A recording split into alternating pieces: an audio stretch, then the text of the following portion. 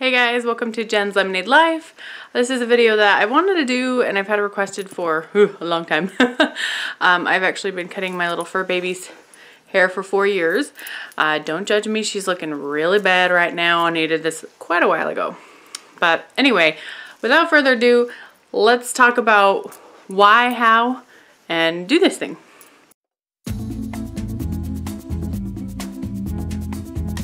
Introductions first. This is Mia. Oh, I adopted her, I don't know, five years ago? Something like that. Gosh, time flies. Um, so she, I'm at least her third owner. she has a very vague history behind her. Anyway, um, she is a Bichon Frise mini poodle mix, or so I was told and this little girl is non-shedding. So her hair is always growing or her fur is always growing needs to be groomed regularly. So about four years ago I moved to Idaho and did not have one of my best friends as a dog groomer anymore. And I took it into my own hands to start doing her hair. My mom would do that with their dogs when they had them and um, honestly the biggest reason is it saves me money. It saves me a lot of money because they have to go regularly and just trying to afford life. Hashtag adulting. Am I right? Okay. In addition to that, uh, just I'm I'm terrified. I'm horrified about what could happen to her. They can be aggressive with her to make sure she's cooperating. They might cut her quick and just put like the stop bleed stuff on it, and I wouldn't know. And I don't want my baby to be hurt because she's my little baby. and also my parents, they uh, took two dogs to the groomer once and brought them back with a boatload of fleas that they didn't have before. So, uh, you know, there's multiple reasons that I do this, and I'm sure if you're watching this, you share some of those reasons. Comment below which which you care about. Maybe there's something I didn't even think about. Basics, let's get into that. The bare minimum that you're gonna need is a good clipper kit. Um, I made sure I got a more expensive one because you don't want it to just last one go, especially depending on if they have like thick fur. So I got this kit. It is in, I don't even know how to pronounce it. Andes, Andes. And um, just got your clipper and the different lengths. Kind of like a human kit to be completely honest. And like the oiling and stuff, which I never do. I think this kit might might be getting a little bit dull but um, it's still doing the job, so we're gonna use it. Other things that you will want are a good pair of scissors. Notice, you probably want more legit hair cutting scissors. Um, and also, I feel like smaller ones would be a lot better. I just, my ex, I think, got the scissors that I usually use in the divorce because I haven't been able to find them. And I think they went with a regular hair cutting kit, which he got. And I just keep forgetting to buy new ones. But, you know, these work for now. Little manicure scissors might be good. I just, I get nervous about them being too pointy in case they like jerk. Basically, it's for the little details, like between their little paw pads or around their eyes or their genitals or something where the razor is not going to be the best option. Next up is just a bag to have nearby. And the last thing, which I couldn't find, I didn't look that hard, so meh is to have a lint roller because you will probably be covered in fur everywhere.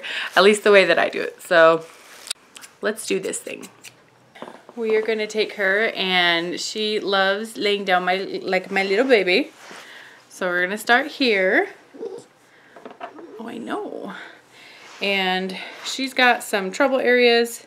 She is a huge licker and so she will get these nasty knots here. So I'm just going to carefully trim off these knots, making sure I don't hit any nipples. And just take my time. She's been a little squirmy.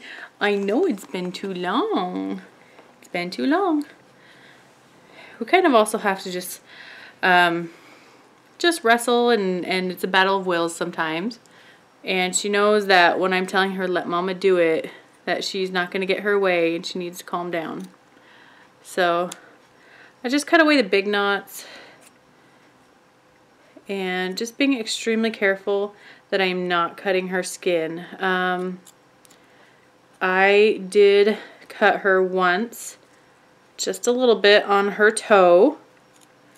Felt horrible. And she did not stop bleeding for quite a while, partially because she refuses to have bandages on her feet. Um, even like the bitter kinds that are meant to stop them from licking and biting. Um, I've had the, the vet kinds where they guarantee it's going to stay on for days, ripped off overnight. She is a biter and a chewer and a licker. So anything I can do to avoid bleeding is obviously best. So I'm just going to take my dear sweet time and cut these knots out.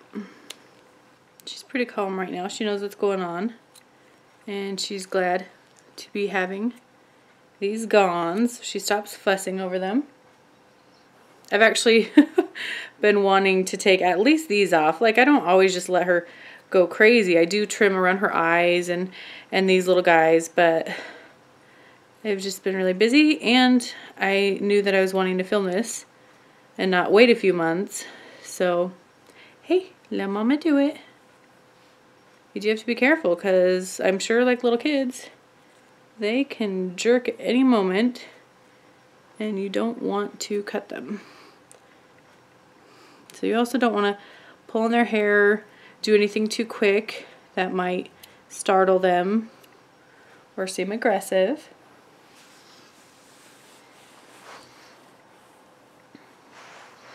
So the majority of those matted knots is taken care of. I've got a good handful here. And now I'm going to start in on a razor or on her face. I don't really just go body piece by body piece because it just depends on her patience and her tolerance. So sometimes she'll have like half of a shaven face for a day or one of her legs and not the other three or something like that. But, you know, we do what we gotta do. Make everyone comfortable and sane, huh? Yeah. Yeah. Yeah. You're cute. Oh, I love you too. Oh, I love you too. Oh.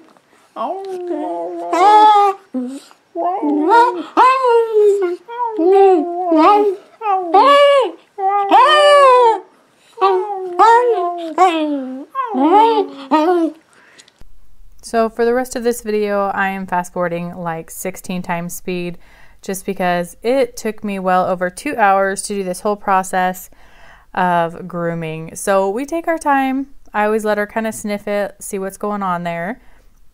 Start with the easier areas. And honestly, a big thing is just kind of going with the flow. I try to be thorough on the body part that I'm on, but if she is just not having it, then I will move to a body part that she hasn't like pulled away from you know, when it gets down to slim pickings or really just needing to finish a certain part, I will, you know, tell her, let mama do it. I'll tell her no. I'll tell her to stop it. Um, but anytime you see me kind of moving her around, I am very gentle, making sure she's supported. Looks like I'm just like shoving her head down, but I'm gently, slowly pushing her head down, letting her know we're just going to do this. You're going to have to stay here. And it's just shaving around things um, making sure not to nick anything. Of course, these kinds of, I say razors, but buzzers, I guess is what I'd really call them. But they're really safe, but still they do have just those little slots that the fur goes into.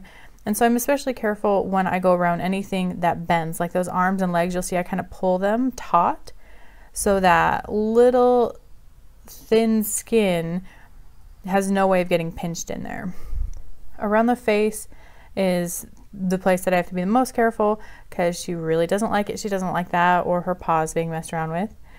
She's very cute. And I'm sorry, you know, the angles and everything aren't super perfect, but I hope it does give you a good idea of what I do.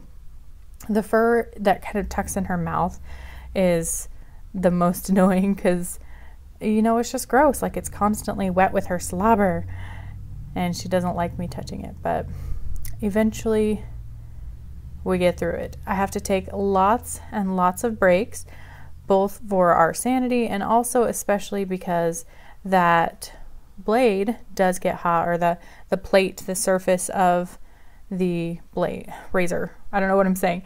Uh, the buzzer. So I have to take constant breaks. I do wish I had a smaller one. I'm going to be looking for one, not only so I can like switch back and forth, but also so I can do more fine details like around the face, around the paws. I usually do paws by scissors, which takes a lot longer, but I feel like you do a little bit better of a job.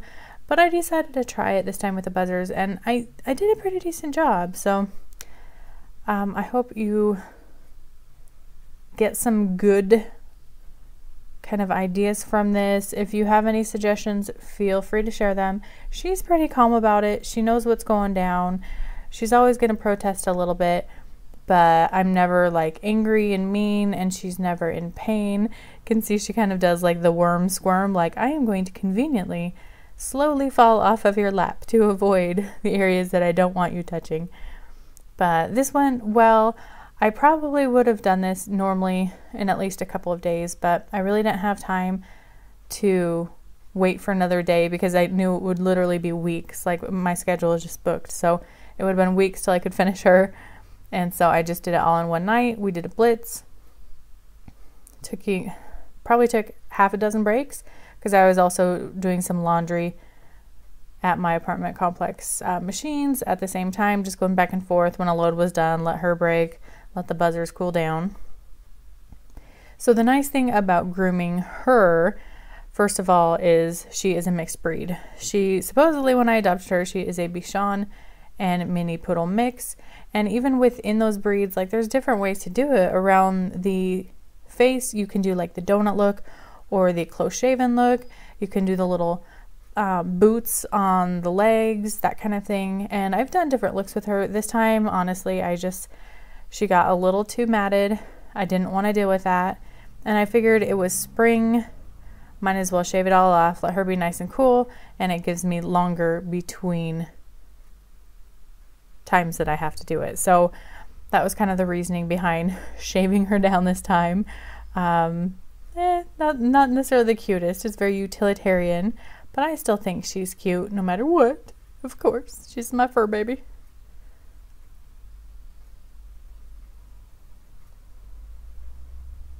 At the end here, she was definitely losing her patience, and so was I. But we made it through, and then after kind of the big shave, I did bathe her, clip her nails, and do some final shaving. You'll see that up here.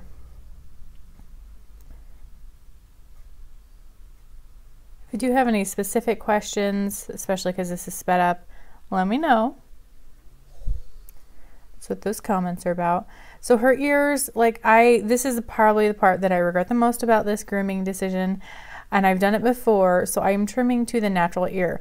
You have to be extremely careful because the natural ear has some odd like shapes to it and you do not want to cut that. And so I took my time just very carefully trimming around um, just because there was some knotting and I could have brushed it out but I just did not want to torture either of us with that, so I decided to go for the bad haircut.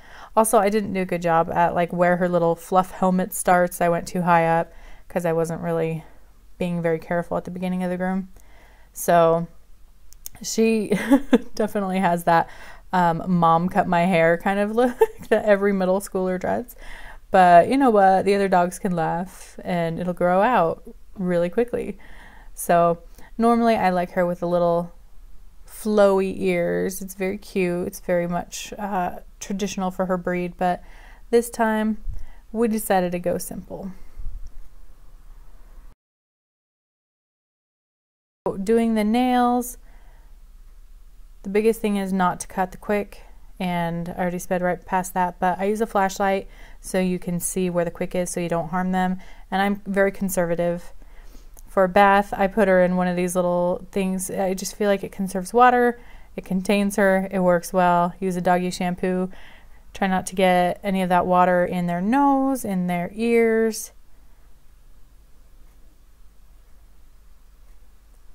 And she looks so pink, like a naked mole rat right now. but she is a cutie. She loves licking herself clean because naturally I didn't do a good enough job. Sorry, this is really um, a little here, there, and everywhere, but after she dried, honestly, this was the the nails and no, the bathing and the final trim were like a couple weeks later. I said I was busy and I wasn't lying. So I noticed that her tail still was a little matted and there's always a few stray hairs that look like you got them good from when you're shaving, but then they kind of poke out, especially around the eyes, I find, once, you know, they've had a little time to rough around or be bathed. So trim those up. The I still was cutting off more of the tail and still took a while to brush it out. But here is our before and after. Let me know what you think. Sorry this is a little bit crazy sped up, maybe not best lighting, all that stuff, but this has taken me hours to film. I hope you guys enjoyed this. I hope you found it useful. If you like ASMR kind of stuff, I do actually have an ASMR channel, and on there I am posting almost the full two hours. Basically, anything that doesn't have me talking. So anytime I have to tell her like, "Let Mama do it," or reassuring her like, "You're you're being a good girl," then I cut those out. But uh, if you just like the like the brushing sounds and the buzzing sounds and that kind of stuff, I included that there, and it's like the full like two hours, so you can watch in more detail of how I went about things. So I appreciate you staying and watching. And I hope this was helpful to some of you. And I hope you have a wonderful rest of your day. Hug your fluffy, fluffy friends.